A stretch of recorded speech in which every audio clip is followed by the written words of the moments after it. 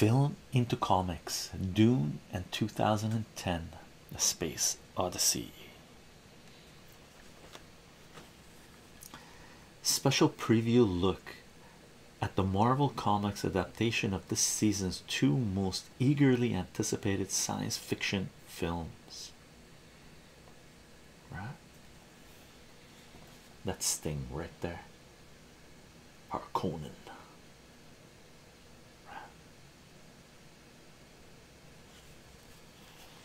Beautiful artwork by Bill Savinsky. Savinsky.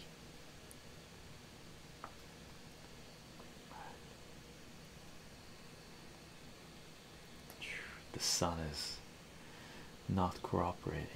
A sand rider. Look at that.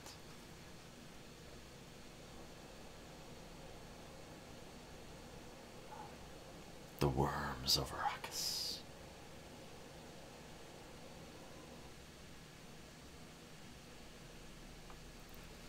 Teaser. Dune is a trademark of Dino De Laurentiis Corporation, a and licensed by Merchandising Corporation of America Incorporated. Copyright 1984. Dino De Laurentiis Corporation. All rights reserved. 2010 is copyright 1984 MGM UA Universal Artists Entertainment Corporation. A sand rider.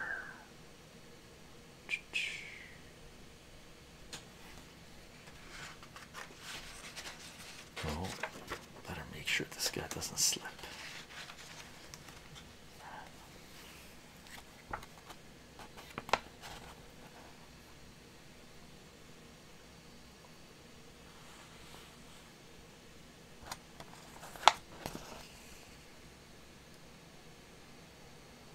Outside, with the shields down, Arrakeen is vulnerable to the Harkonnen ships carrying the Emperor's Sardaukar Legion.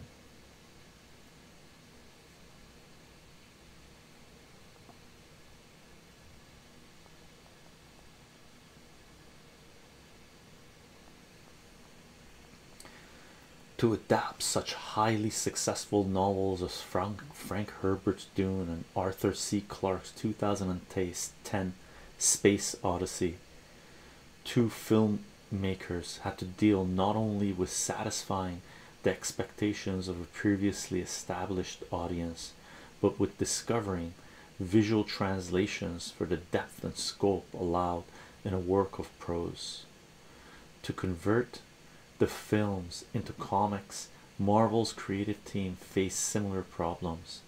They had to convey the experience and feel of each movie and at the same time create line art equivalent in a limited number of pages for several several hours of moving speaking visual images this involves writers editors and artists boiling the script down to key scenes and passages condensing and bridging dialogue and perhaps most important finding the right illustrative style to suit the given film. Though the final adaptations will be printed in full color we thought it might be interesting to demonstrate this sense of style by showing the art as it is originally done before color is added.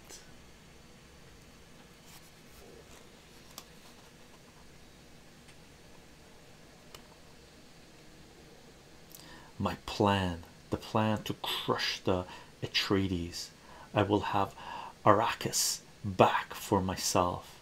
He who controls the spice controls the universe and we have controlled control of someone who is very close to the Duke Leto this person this traitor would be worth more to us than 10 legions of our of uh Sar Sardaukar I won't tell you who the traitor is or when will attack but the Duke will die before these eyes and know it is Baron Valdemir Harkonnen who orchestrated his doom.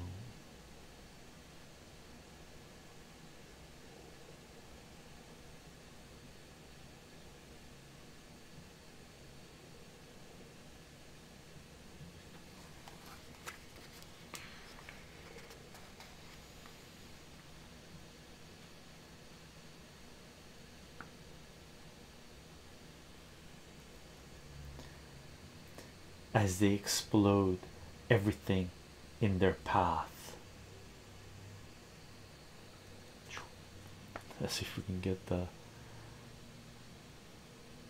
in the cause of Muad'Dib forward.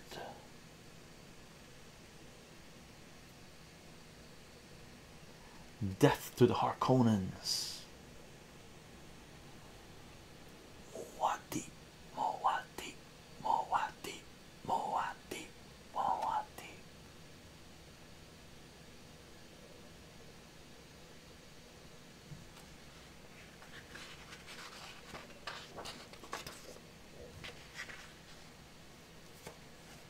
Take a look.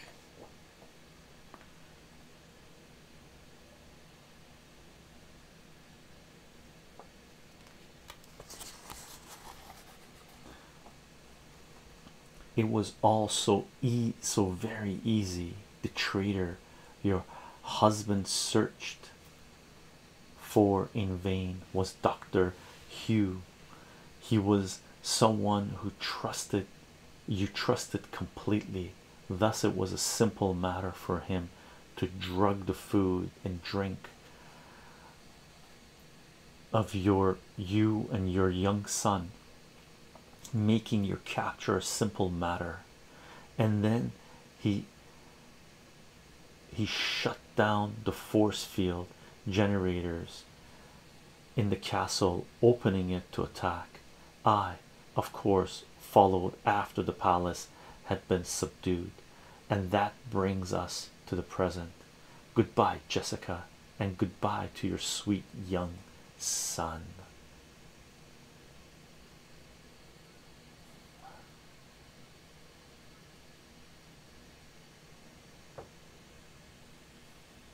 And there's Jessica, Bene Gesserit, that bore a son, Muad'Dib. The sleeper must awaken.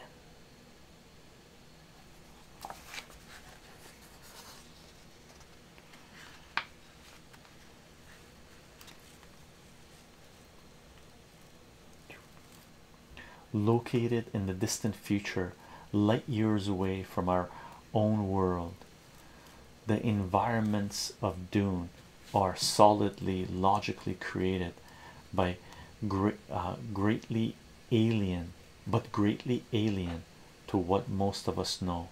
Through convincing accumulation of detail in costumes and settings through carefully achieved special effects the film captures this uh, this this reinforcing it with its constant succession of images with the far fewer number of images a comics adaptation provides.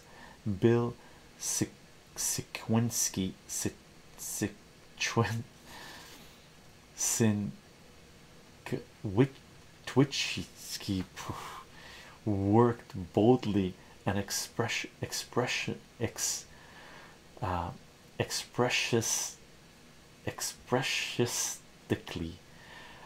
worked boldly and expressively expressively building emotionally the movie's unique universe to portray the impact and intensity of what might be whole scenes and sequences.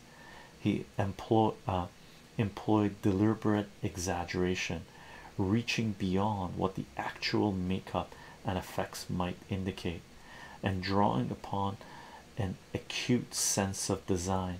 He fully utilized mass and negative space to suggest Dune's incredible landscape which with the story's underlying sense of ecology share almost the same importance as the characters which move within them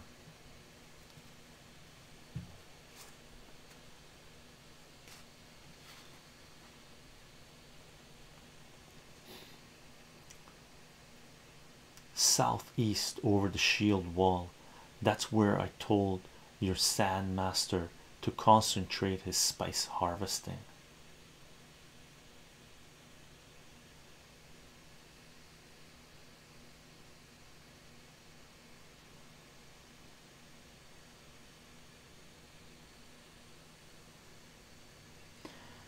There's the mining facility below where there is spice and spice mining. There are always worms, Paul. To protect their territory, vibrations attract them.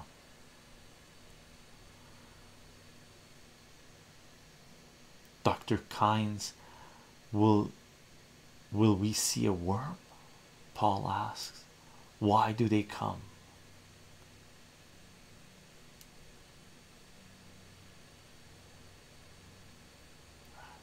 So the conversation should be I should read these in order. There's the mining facility below. Dr. Kynes, will we see a worm? Where there is spice and spice mining, there are always worms, Paul. Why do they come? Paul asks. To protect to protect their territory, vibrations attract them. Important to read these in order. And then that's the last page teaser for Dune, and then we get into 2010 Space Odyssey.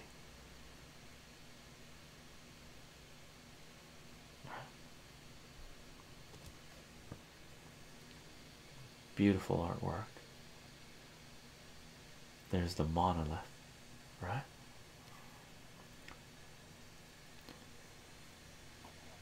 What is it? One of the astronauts asks. Not even astronauts, space folk, I guess, or astronauts. 200 kilometers. I am getting no radar echo. 190 kilometers. No, later.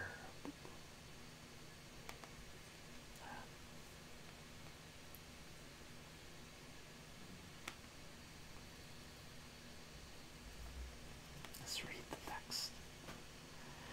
Different considerations enter into the stylistic approach to 2010, as with its predecessor, pre, the predecessor, 2001.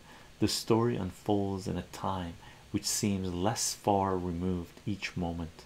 The science and technology are reasonable extensions of what already exists, and even much that doesn't doesn't is already established in our minds uh, from what we saw in the previous film.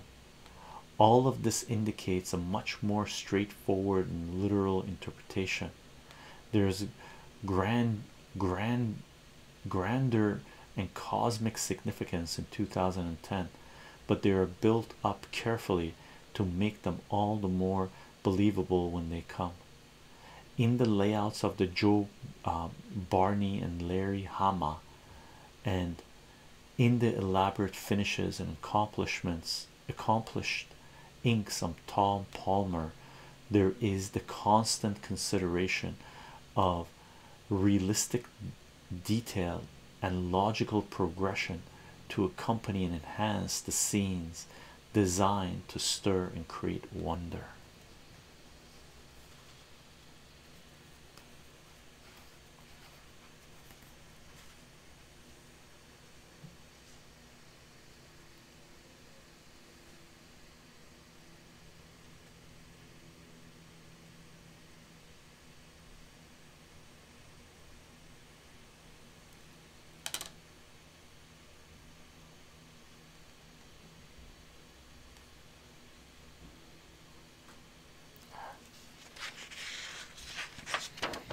Oh, better make sure this white thing doesn't fall over. Let's do this.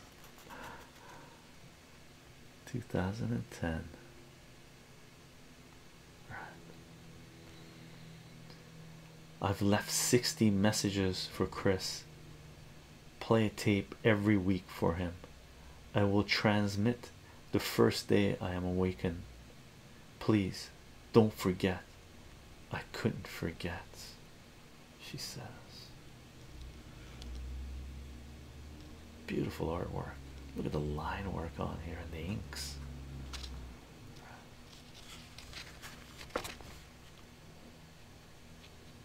Look at that. Look at that.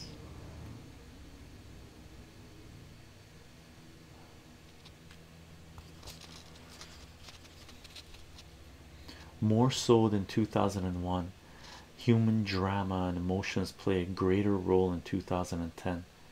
This gives Palmer's illustrative pen and brushwork further opportunity to make full play with lighting as well as with humanizing what might otherwise have become sterile photographic likeliness in the characters. As with the filmmakers, the creative teams on Dune in 2010 have sought to find their own way of successfully expressing the experience of one medium in the form forms and format of another defining it with their own individual styles and hopefully making it something that along with reflecting the original offers a unique enjoyment on its own.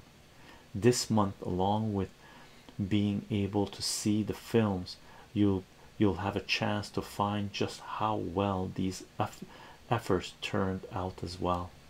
The adaptation of dune is written by ralph macchio art by bill Sikwinski, coloring by Christie Scheele and lettering by joe rosen.